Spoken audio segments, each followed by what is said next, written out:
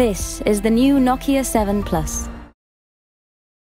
The prevailing dry weather conditions in the country has reduced the national hydroelectricity production to 15%.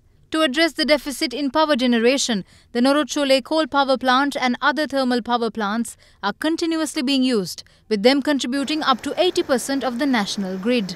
In the event where electricity demand is higher than the supply, the Ceylon Electricity Board also resorts to purchasing power from private power producers. In a background note produced by the Public Utilities Commission of Sri Lanka, it states that the cost of emergency power purchased by these private producers in 2016 amounts to over 16 billion rupees, with the cost rising to over 26 billion rupees in 2017.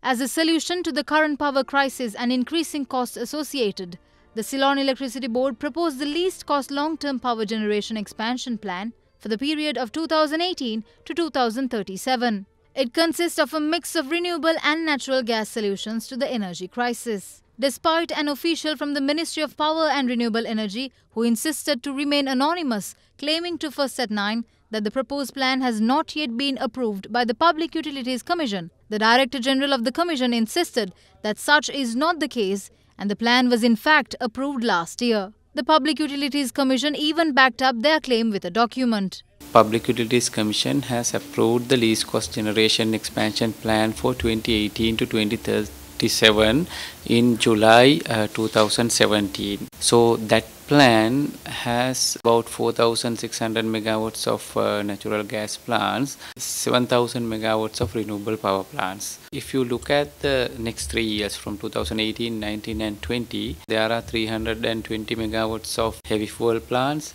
300 megawatts of uh, natural gas plants, 360 megawatts of uh, solar power plants, and 270 megawatts of wind, wind power plants. Apart from that, we have mini hydros, biomass power plants. The Director General of the PUCSL also warned that the delay in the implementation of the power generation expansion plan could incur losses in billions to the country. The implementation part is with Ceylon Electricity Board. I think the tendering process has taken a lot of time. About six months back, Commission has come out with a report on the losses due to the delay in implementation and the delay of implementation of these generation plants in the long-term generation ex expansion plan over the last 18 months is about 50 billion uh, rupees. Every month you delay the implementation, it costs us about more than 3 billion rupees.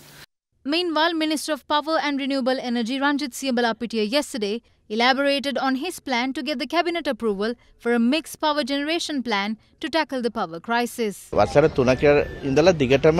a drought for three years now. It's a challenge to supply electricity at the usual tariffs. But we haven't increased electricity levies or resort to power cuts. We've presented a mixed power generation plan now.